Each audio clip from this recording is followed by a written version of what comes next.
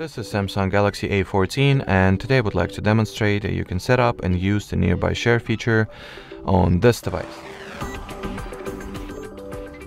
So to start, I recommend that you enable Wi-Fi, Bluetooth and mobile data if possible.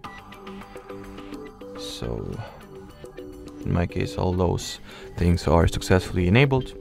From here, uh, among the control panel shortcuts, find the one that says Nearby Share, touch and hold at its icon, then switch this toggle on in order to enable the Nearby Share. At the Nearby Share page, you can rename your device, make your phone visible or invisible respectively, as well as change its visibility extent, and change the data mode that will be used for the file transfer. So now let me quickly uh, test this feature out and receive some file through the Nearby Share. So I happen to have another device on my hands right now, so that's the phone that I will use as the device number two. So I'll try to send this photo, let's say.